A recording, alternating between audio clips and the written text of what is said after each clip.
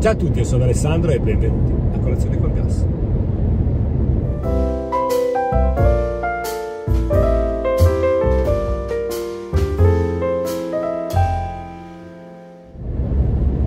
Il video di oggi è un video che mm, è pieno di ricordi, almeno per me. È incredibile a volte come la nostra mente, il nostro cervello possa fare uno scatto incredibile in un determinato momento della propria vita, portando alla luce e a galla dei ricordi che era davvero tanto, tanto che erano sepolti. Eh, ricordi che magari erano lì, erano lì fermi e, e basta veramente una, una piccola situazione, una piccola cosa e eh, questi ricordi subito saltano in testa. Mi è successo già una cosa di questo tipo in passato, purtroppo sempre per non belle, belle situazioni, ma per delle brutte situazioni, dove è bastato poco, è bastato pochissimo per far tornare in mente incredibili ricordi. Eh, quest'oggi quello che è successo è relativo alla notizia di ieri, la notizia che è morto dopo una lunga malattia il cantante e cantautore eh, Franco Battiato cantante che negli anni io ho eh, amato e odiato, nel senso che mh, ho amato quando ha prodotto degli album delle canzoni bellissime, fantastiche, eh, che eh, toccano davvero le corde dell'anima. E un po' più odiato in quanto il mio eh, essere un pochettino pop, nel senso di eh, prediligere la musica che non faccio troppa fatica a pensare e non faccio troppa fatica a interpretare e a capire eh, rispetto alla musica appunto popolare dove riesco a capirla, riesco ad analizzarla, eh, mi piace il contenuto, mi piace la musicalità eccetera eccetera. Ripeto, eh, è una questione proprio prettamente personale. Franco Battiato negli anni ha avuto questa particolarità, si è sempre distinto da altri cantautori per la ricerca continua del qualcosa di diverso rispetto agli altri, non perché fosse una persona che eh, tendeva a stare sopra alle righe, ma semplicemente proprio perché era fatto così, cioè lui era un innovatore, era uno sperimentatore, era un maestro che cercava sempre, sempre quel qualcosa in più eh, da quello che produceva, molto autocritico, eh, molto selezionatore per quanto riguarda anche i partner soprattutto anche nella sua vita. Infatti la sua lunga malattia è stata da tanti eh, vista precedentemente la, diciamo, la, l'isolamento che ha avuto lui dal mondo pubblico, ma eh, sempre negato da eh, familiari e comunque anche da amici, perché era così, cioè era una persona molto schiva, molto riservata. Il ricordo ancora eh, nel 1981, e questo me lo ricordo ed è questa la particolarità di questa cosa. All'epoca dell'album La voce del padrone, che ha lanciato tra l'altro in Italia brani come Summer on a Solitary Beach, Gli Uccelli, eh, Bandiera Bianca, cioè ha, ha, lanciato davvero dei brani fantastici, quell'album è un album che credo sia il top proprio della eh, sua produzione a livello di carriera. Era 1981 e ancora lo ricordo, io ero piccolo, avevo poco meno di, di 11 anni e eh, già tra i compagni di classe, quindi parliamo delle elementari, eh, già, eh, delle medie, pardon, già si parlava di eh, questa questo cantante, questi brani, questa musica che si sentiva comunque eh, anche nelle radio, con i giradischi, eccetera. Ma Franco Battiato non è nato lì, non è nato nel 1981, è nato eh, molto prima,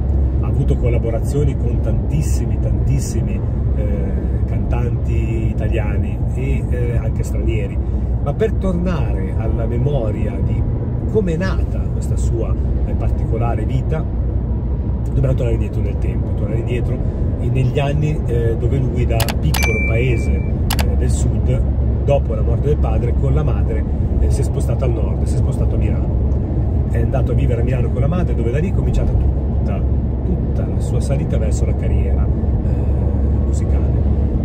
Ha avuto la fortuna di essere in un tempo dove frequentare gli ambienti eh, dove praticamente bolliva cultura milanese, parliamo di cultura a livello eh, sia di eh, cabaret che anche di musica, lo ha portato praticamente a conoscere davvero tantissime persone. Lì ha conosciuto, ha avuto rapporti per molto tempo con Renato Pozzetto, eh, con eh, Iannacci, eh,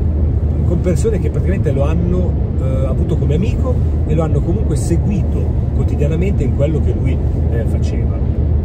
Ha avuto eh, la fortuna di collaborare e scrivere brani per un album intero di Milva, che tra l'altro anche lei è recentemente scomparsa avuto la fortuna di avere contatti con tantissime persone, ma era proprio quello il periodo, anni, dagli anni 60 agli anni eh, 70 80 sono stati gli anni proprio boom per questo tipo di eh, cose in Italia, soprattutto nella zona di Milano, quindi nella zona del eh, diciamo forte impronta di cabaret, comicità e musica. Pensate a Gaber, pensate a Iannacci, eccetera. E, ha scritto anche a quattro mani brani che hanno segnato veramente un'epoca. Pensate a eh, Un'estate al mare di Giulio Russo, che ha letteralmente spopolato e, e sconvolto un'estate italiana dove in pratica ovunque si andava si sentiva, ovunque ci, ti giravi la sentivi, accendevi la radio la sentivi, è stato un brano che ha davvero calcato le, le, le, le onde su mesi e mesi estivi di questo brano che poi ha fatto conoscere Giuni Russo in tutta Italia. l'hanno scritta lui con un altro autore, Giuni Russo l'ha cantata e è stato davvero davvero un successo incredibile.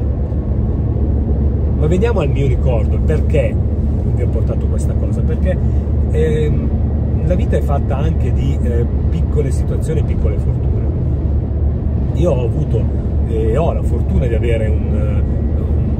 background eh, musicale non direttamente mio, nel senso che non sono io che ho avuto la fortuna di scoprire da solo musicisti e cantanti, ma ho avuto la fortuna di avere eh, un uh, parente molto vicino a me, un cugino,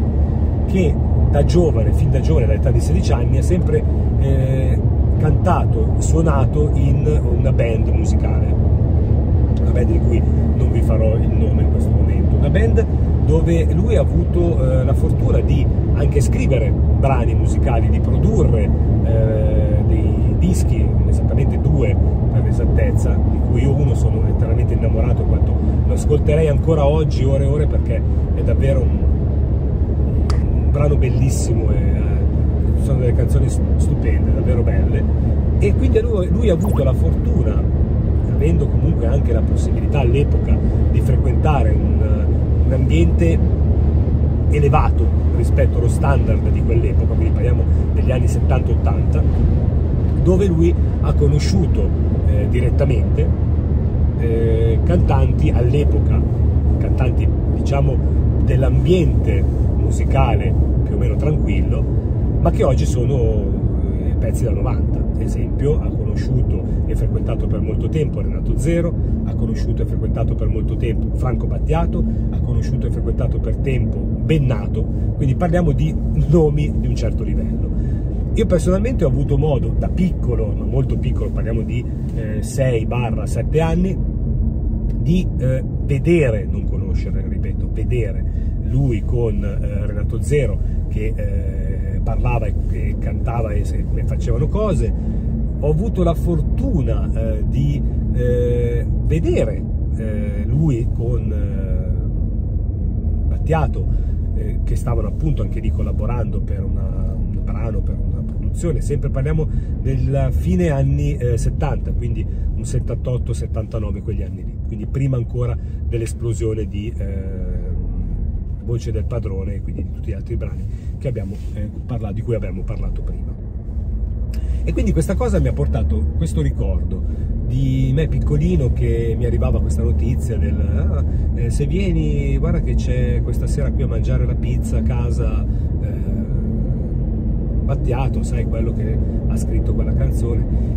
e io che purtroppo la mattina mi dovevo alzare molto presto per prendere il mio motorino per andare a scuola a eh, 16 km da dove abitavo all'epoca eh, mio padre mi disse giustamente ascolta non possiamo andare, è già tardi, sono le 8 e mezza, 9, tu tra un po' devi andare a letto, non possiamo in questo momento andare. Lo vedrai la prossima volta, ovviamente non è più successo, non è più capitato la, la, la fortuna di poter incontrare e vedere eh, l'artista. anche perché poi le strade ovviamente hanno preso strade diverse, quella di mio cugino e quella di eh, Battiato e Bennato e quindi niente, praticamente il, questo incontro non è più avvenuto, eh, anche se loro so che si sono frequentati a livello di eh, gruppi musicali e di eh, autori per un bel po' di tempo. E quindi questa cosa eh, mi ha innescato questo ricordo molto, molto dolce, molto eh, particolare, ma semplicemente perché eh, un bambino che ehm, a scuola eh, parla di queste cose con i propri compagni di classe e ovviamente i compagni di classe non gli credono perché è come se io oggi eh, un bambino mi dice ah sai che io eh, ieri sera sono andato a mangiare la pizza con, boh, vi lancio un nome, Fedez oppure vi lancio, sono andato a mangiare la pizza con Biagio Antonacci, uno ci può anche eh, pensare, ma eh, tra bambini sicuramente queste cose vengono comunque ironizzate, scherzate, eccetera. Beh, era successo anche questo, pochi credevano eh, al, al, mio poter aver avuto anche indirettamente un contatto con eh, all'epoca questi big che stavano esplodendo nella musica, diciamo in Italia. Però ripeto sono ricordi belli sono cose che uno si porta dentro ed è per questo che è molto bello penso avere eh, il collegamento tra la memoria eh, d'infanzia e comunque delle piccole cose anche purtroppo a volte brutte tipo eh, la morte di, di, di Battiato su eh, questo tipo di eh, pensieri Detto questo io vi saluto come sempre, vi ricordo se non l'avete ancora fatto di mettere qui sotto mi piace, di iscrivervi al canale e di cliccare sulla campanella per non perdere tutti i video che vado a produrre e fare, compresi anche questi a volte piccoli eh, monologhi in merito ai ricordi. Voi avete mai avuto ricordi legati a qualche situazione particolare? Se sì lasciatemi qui sotto un messaggio e intanto vi ricordo come sempre di iscrivervi al canale. Ciao a tutti e ci vediamo al prossimo video. Ciao!